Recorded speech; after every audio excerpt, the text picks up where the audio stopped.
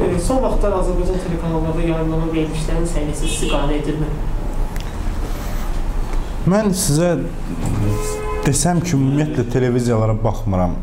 Bilmirəm, inanarsınız, inanmazsınız.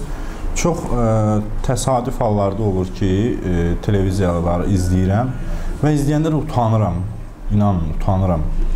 Çünki bilirsiniz necədir? Bu televiziya elə bir şeydir ki, televiziya birbaşa ev, evlərimizə daxil olur. Ailələrimizə daxil olur. Burada gərək verilişlər elə hazırlansın ki, insanların heysiyyəti ilə oynamasınlar. İnsan və yetişməkdə olan əsasən televiziyaya yeniyetmələr baxır. Yəni orta məktəbdə oxuyan yeniyetmələr gələcək nəsillərimiz.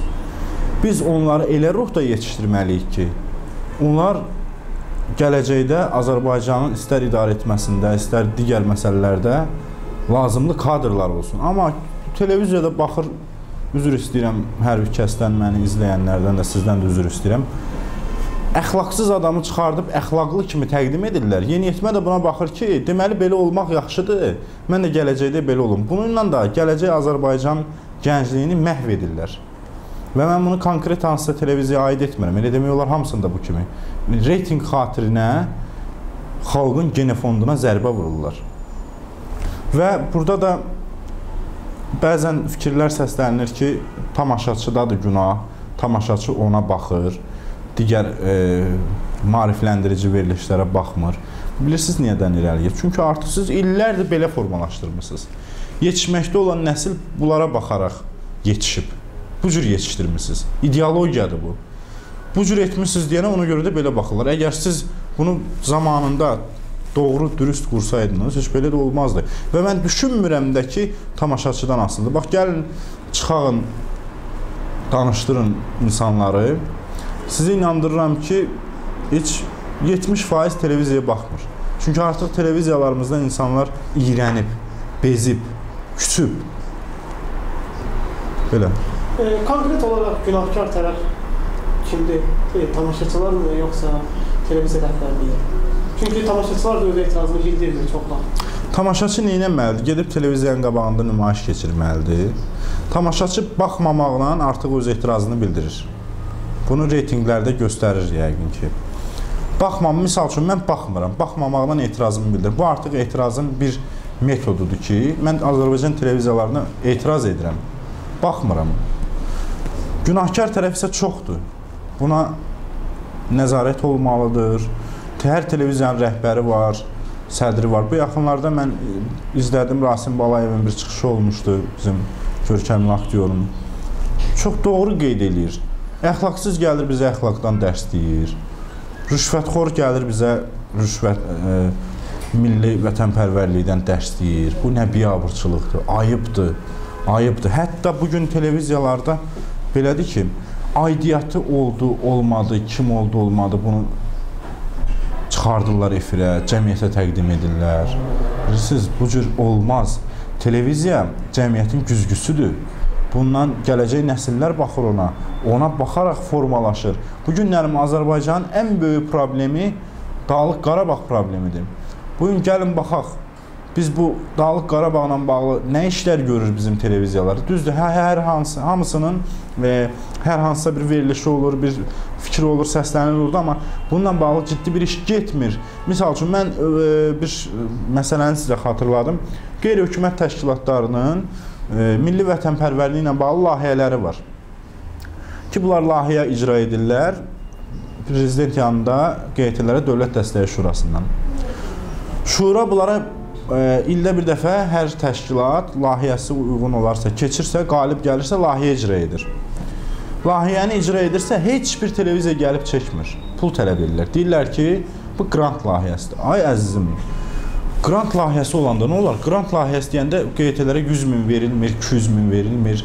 Nə böyük pullar deyil. 5, 7, 8, 10 min civarında olan puldur. Bunu ilə QT həm e, regionlarda, ölkədən xaricdə tədbirlər keçirsin, həm də gəlsin televiziyalara pul versin. Bunun üçün televiziya özü maraqlı olmalıdır ki, vətəndaş cəmiyyətinin keçirdiyi bu cür aksiyaları işıqlandırsın, cəmiyyətə çatdırsın. Gənclər görsün ki, ölkədə bu cür işlər gedir. təbliğat gedir və gənclər də vətənpərvər yetişsinlər. Mən həmişə deyirəm ki, vətənpərvər, milli hissləri olmayan cəmiyyətin bu gün nə qədər güclü olur olsun, təməli boşdur. Təməl boşdur və axıra qədər gedə bilməz. Bu gün Azərbaycanın başlıca vəzifəsi ondan ibarət olmalıdır ki, mediada, mətbuatda, e, televiziyalarda milli vətənpərvərlik yönündə verilişlərin sayını artırsınlar qeyri-hökumət təşkilatlarının bu sahədə keçirdiyi tədbirləri işıqlandırsınlar. Bir daha qeyd edirəm, tədbirə çağırmaq mümkün deyil. Hamısı deyir ki, o qrant layihəsidir, onu çəkmək üçün pul verməlisən. Yəni bu pul da əgər büdcədə nəzərdə tutulmayıbsa, bu qeyti sən hardan verməlidir? Lap tutalım mən cibimdən çağırım sizi 200 e, manat pul verim ki, mənim bir 2 dəqiqəlik efirdə ver. Mən bu şeylərə maraqlı deyiləm mən şəxsən özüm maraqlı deyiləm. Mən düşünürəm ki, bizim bu etdiyimiz xidmət dövlətə xidmətdir, millətə xidmətdir. Bunu e, televiziyada görməlidir ki, bu bizim millətə xidmətdirsə, bunu biz işıqlandırmalıyıq. Biz bundan maddi maddiyyat gözləməməliyik.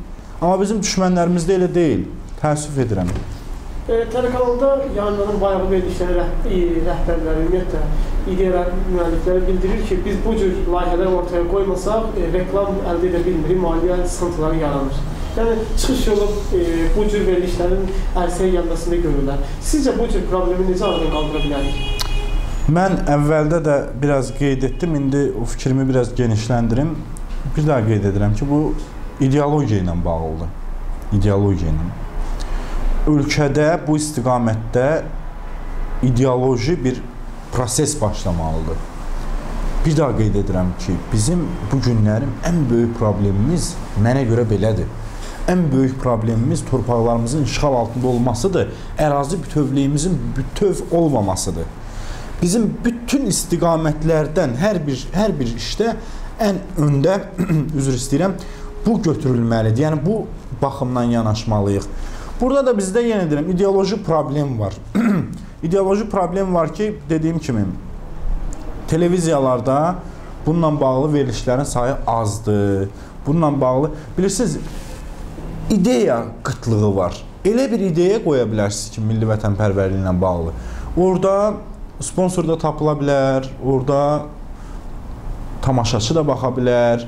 İdeya yoxdur. Sizin sizin ideyanız yoxdursa, ona sponsor nə etsin? Ona tamaşaçı neynəsin? Deməli siz bayağı verilişlərlə siz əslində millətə xidmət etmirsiniz. E, Milli Televiziya e, Şurası öz qərarlarını daha da sərtləşdirsə, nəzarəti gücləndirsə, sizcə e, vəziyyət qismən düzələ bilər? Bilirsiniz, bu Milli Teleradio Şurası ilə deyil. Mən belə düşünürəm. Bu Milli Teleradio Şurası ilə deyil. Bəlkə nələrsə dəyişə bilər filan. Burada xüsusi olaraq insanlarımız dəyişməlidir. Mən misal üçün biz bir neçə vaxt ki bir layihə icra edirik İrəvanın güzəştə edilməsi ilə bağlı. O da prezident yanında qeydilərə Dövlət Dəstəyi Şurasındandır. Bu il Azərbaycan tarixində çox mühüm illərdən biridir. Cümhuriyyətin 100 ilidir. Bir çox dövlət qurumlarının yaradılmasının 100 ilidir. Biz biz də bunlarla yanaşı İrəvanın güzəştə gedilməsini və cəmiyyətə çatdırmağa çalışırıq. Bilirsiniz, bu siz dediyiniz kimi məsələnin tam kökündən həll olunması mümkün deyil. Çünki insanlar fərqlidir, fikirlər fərqlidir. Hamı səni qəbul edə bilməz, hamı da səni sevə bilməz. Burada gərək bir daha deyirəm, ideoloji iş aparılmalıdır. Bax biz indi hal-hazırda orta məktəblərdə, orta ixtisas və ali məktəblərində nəzərdə tutmuşuq hərbi hissələrdə də bu istiqamətdə tədbirlər keçiririk və yəni orada da bizim əsas məqsədimiz ondan ibarətdir ki, içimizdən özümüz dəyişməliyik. Gənclərimizdə o ruhu oyatmalıyıq ki, onlar artıq bu ruhda yetişsinlər. Düzdür, bizim bu tək bizim işimiz deyil və bizim gücümüz xaricindədir.